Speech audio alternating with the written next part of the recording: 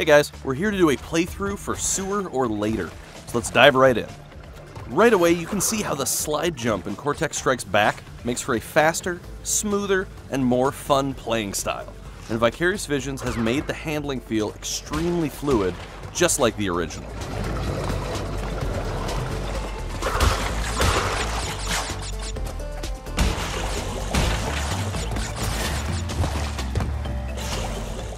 Notice how moody and atmospheric this level looks and feels. Vicarious Visions has used a reality-based lighting to give the sewer a modern, more realistic sensibility.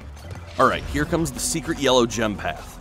So I unlocked this by getting the yellow gem from the previous level, Plant Food.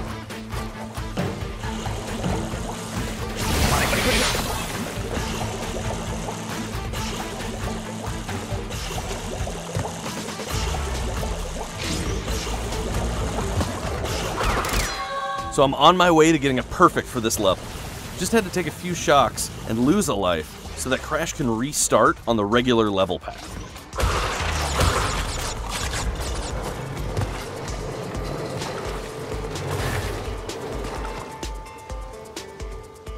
So here we can see some of the great lighting effects developed for the game. Take a closer look at how the lights and colors are reflected all the way up the walls of the sewer tube making the environment feel extremely immersive.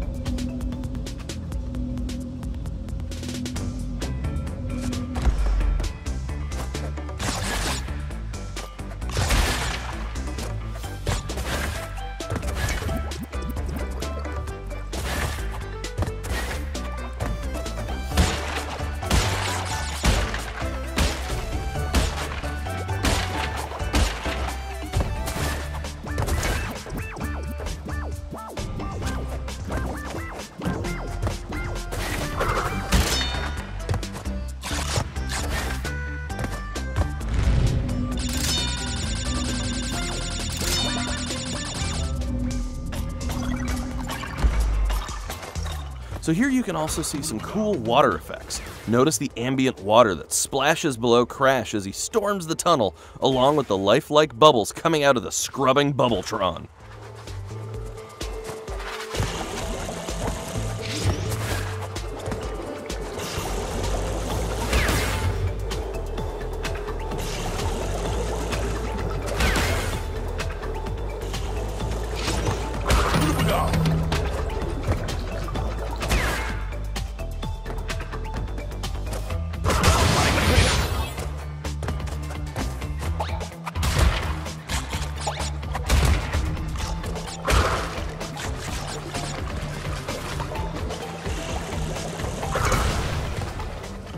Dang, this level keeps on giving. Never a dull moment, and the difficulty doesn't let up.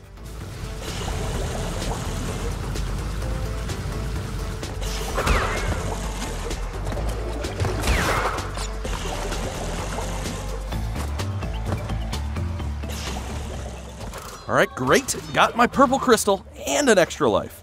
So I'm ready to finish on the other side and get my perfect for the level.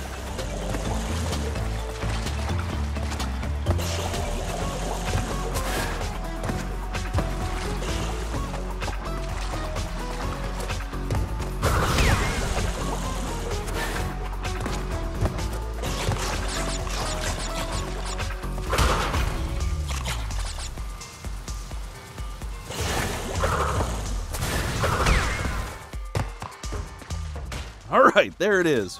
Final gem collected, and I got all 57 of those crates. We did it!